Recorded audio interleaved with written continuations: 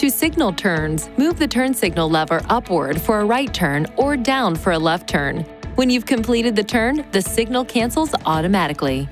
To signal a lane change, move the lever up or down to the point where the indicator light begins to flash, but the lever does not latch. Release the lever.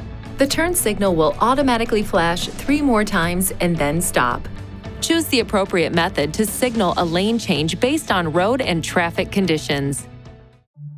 Please see your owner's manual for important safety information, system limitations, and additional operating and feature information.